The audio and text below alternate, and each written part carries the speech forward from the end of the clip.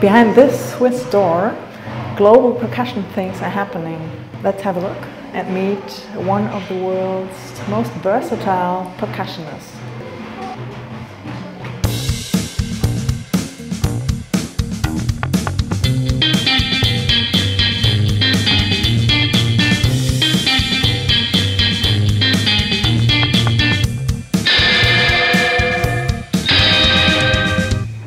Hi, Pete Lockett. I'm actually a very young man. I uh, was born quite a while ago when I was very small, 1963. I'm, I'm, based in London, lived in London for quite a few years, originally from uh, Portsmouth on the south coast in uh, Great Britain.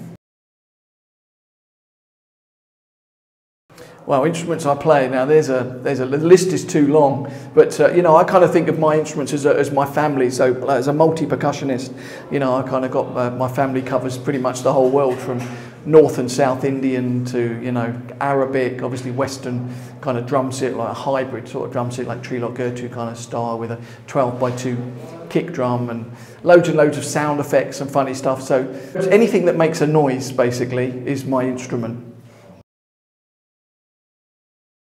I'm very lucky. I've got some amazing, amazing companies. I've got uh, Sabian cymbals, Remo percussion and drum heads, uh, Mapex drums, and uh, Vic Firth have got my uh, signature stick. So they all make everything possible for me on these uh, tours around the world. So uh, yeah, great, great companies, and check their gear out. The first percussionist I knew by name.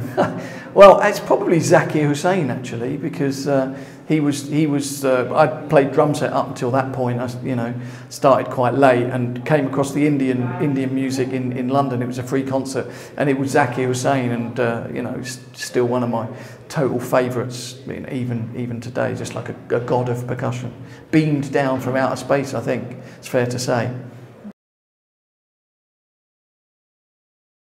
Well, I got hooked on drums by, uh, uh, you know, I started very late. I was walking past a drum shop in Portsmouth and there was a sign in the window, drum lessons. I was 19 and um, I was like, I hooked there right from the very first, uh, very first. It's the first thing that really made any sense to me and that I really was, you know, properly into. And, uh, you know, a couple of weeks later I was in a punk band smashing my drums up after the gig and uh, that was the beginning of my, uh, my you know, life's dedication to drumming and, and music. Well, who wouldn't love drums for a start? You know, drums are just like, Uh, they, you know, you go any culture in the world, you know, there's drums, and drums are a really important part of that culture. And from my journeys across the world and all the collaborations with, with musicians from everywhere, from Sudan and India and Japan and Pakistan and like all across the world, you know, drums are just like the lifeblood. And for me, you know, they're my heartbeat, they're my, they're my pulse, they're, they're my inspiration, they're my desire. They're, it's just, I'm just so lucky to have drums in my life. Music to check out. Well, I tell you what I'm listening to at the moment more than anything. Is there's two things I'm listening to a lot at the moment. One is Animals as Leaders with Matt Garstka, who's just like a totally killing band. I, saw them with my wife a few weeks ago in London, and it just one of the best gigs ever. And a, another person I'm listening to a lot at the moment is a guy called uh, Zohar Fresco, who's a uh, Israeli frame drummer, and he and he sings, plays frame drums, and it's just like amazing, just like ridiculous material, just like super cool. So yeah, they're two things I'm big into at the moment. But I've got a very very eclectic, you know, listening list. So uh, yeah, it's a bit like my list of instruments. inspiration. I mean, it's, it's, I'm just so lucky, you know, that for, to, have, to have been in so many situations with so many amazing players. I mean, some of the you know incredible you know drum set players I've worked with are you know an incredible inspiration. I was just performing with Steve Gadd in, in, in Croatia.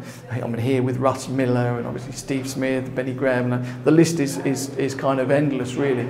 But you know, for me, my, my inspiration comes from when I see someone's heart coming out in the music. You know, it's just it, there's there's just something. There's something when you see someone playing for an audience rather than at at an audience and someone who's sharing their passion and their love of music rather than ramming it down someone's throat with their, you know, virtuosic technique that's just for technique's sake. So, you know, inspiration is from the heart of, uh, of all the great players that we're lucky enough to have on this strangely messed up planet.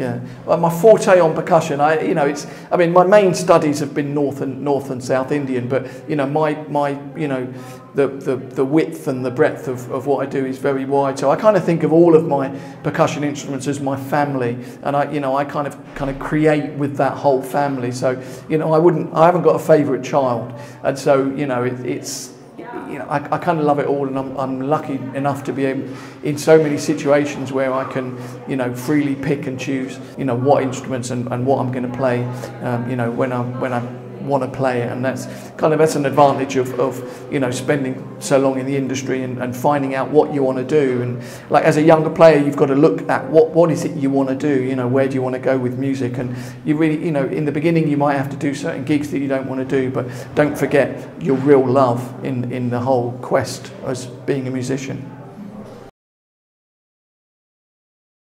No, I dream, I'm lucky. My, my dream is my reality. So there's no dream gig for me. I'm just I just very, very happy with a lot of the opportunities that, that come my way. And also philosophically, I'm a great believer of living in the moment because a lot of people live in the future or the past and they kind of miss where they are and what they've got in that present moment. So I kind of live in the moment and, and it's, it's for me, it's an incredibly satisfactory way of, of uh, you know, existing as a, as a musician.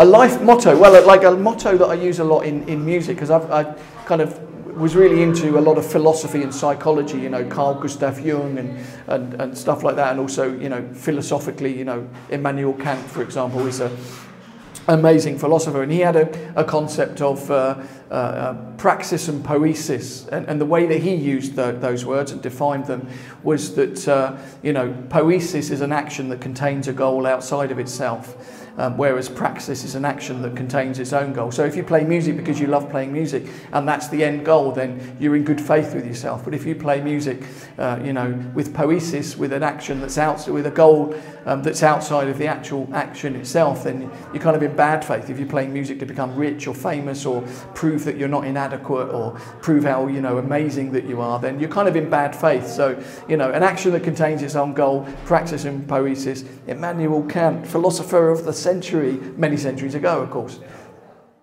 Pete, can you show me your hands?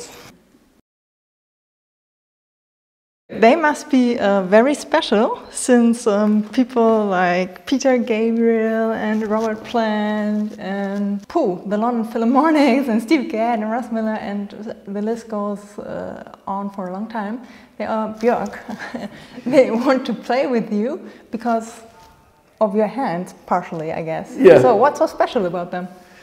Well, I don't know. They're definitely attached to my arms, and the arms are very colourful, so maybe that's a part of the reason. But uh, no, I think you know what comes out of your, your hands is what you you know spend many years, um, you know, developing in your mind. So it's kind of building that connection, I think, to to you know all of the things that you've studied and all of the um, you know uh, all of the, the, the, music and all of the, the techniques. And it's about you know how does that get articulated? You know how does that get kind of expressed and brought into the world? And and through your hands you know for me it's it's an amazing thing to be a drum set player and also you know a percussionist because um, you know with, with your hands you've got a direct contact you've got a direct feel uh, and a connection with with the with the instrument literally skin on skin on skin, and it's it's kind of a, a kind of a great kind of spiritual sort of uh, connection. You know, the drum and the and the hand, and so you know, I'm I'm I'm very uh, very blessed to have uh, music in my life that I can uh, bring to the world, articulated through the uh, the Lockett paws. Okay. But um, still, you have um, very flexible fingers. I think you're very fast when you play your hand percussion instrument, the frame drum, for example, or kanjira. It was last night.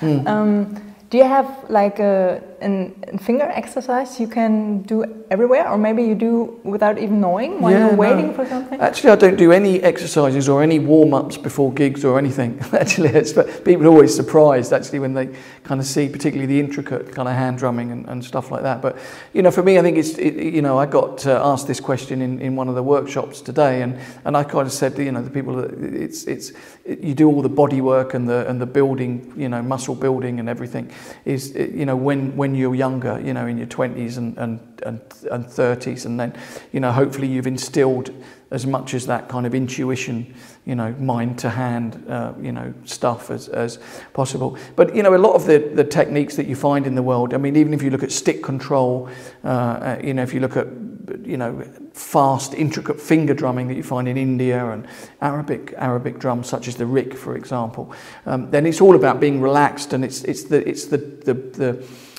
the calm way that the technique is, is articulated. I mean, it's a very, very important um, aspect of it. So it's not like, uh, I mean, you know, you're, you're getting the sound out of the drum, not, not, not putting it in, you know. So it's about that kind of delicate balance between relaxation and, and power and strength. Okay. Uh, you already talked about the mind, that that's important. Um, how about Konnakol? Konnakol? Um, how important is that um, for a percussionist? Well, you know, Konnakol and that whole system, the system that, it, that you know, from North and South India, Konnakol is a, a South Indian term, but the idea of phonetics that represent syllables, you know, syllables that represent strokes on drums and different rhythms is very important because it, it gets to a direct phraseology. So, you know, if you read something that's written, you know, on, on for snare drum on one line or for drum set across the whole, you know, stave, then, you know, it, it you don't get a direct link to the phraseology, whereas with the spoken word, word, you've got a direct link to a phraseology, which kind of really leads to, um, you know, the possibility of a great musical expression. So it's a, it's a really um, it's a really important thing, and it of course it enables you to strip away the pure rhythm of something and recite it with your voice and with the clap of the hand. And it's a very primal sort of thing. It's a very uh, very a priori sort of recitation of of rhythm. So, you know, I think it's a very important thing for percussionists to get into. Not necessarily just Konnakol, but just reciting rhythms, you know, and uttering, you know, the voice in a, in a, in a rhythmically poetic manner. Okay. And uh, last but not least, uh, you use your feet also. Not every percussionist does that. Actually, when I was in class, a bass player said to one of the drummers, uh, Well, if you can control your feet, you should become a percussionist. but you play the feet. How important is that for percussionists today? Yeah, to, to a point. I mean, if you know, the, using the feet and, and is you know is, a, is another possible voice. But in actual fact, for my hybrid, you know, drum set. I mean, here I've got a regular drum set, so I'm using using my feet as a as a drum set player. But as a percussionist, I don't really use my feet that that much at all. Really, I mean, it's it's uh, particularly like with the hybrid drum set and and the you know some of the other percussion uh, voices. Then I don't really. Um, use my feet that much, you know. Obviously, with the um, with the hybrid drum set, I mainly use the left foot because it's on the hi hat, but the right foot doesn't do anything. It's the the bass drum is like a 12 by 2 drum in the you know where the small tom um, would be. So there's a lot of linear kind of patterns that are played with the you know with the hands and and and the and the left foot. So. Um, but you know, I think it's anything, anything that, that enables you to articulate your, your music in, in more detail, and uh, you know, get to your vision of, of music is uh, is an advantage to any any percussionist or musician at all, for that matter. So thank you very much Thank for you. your time. It's my pleasure. Yeah, he he has been talking the last three days, I think, and it's almost over. But he took the time for you guys too. So if you get curious about Pete Lockett, check out his website and his socials. He's very uh, busy there as well. Indeed. you can follow him all around the world. And um, yeah, he has um, several um, albums and DVDs. So get to know his playing. It's um, very worthwhile. Thanks. Thank you. Thanks for watching. Ciao. Bye. Bye.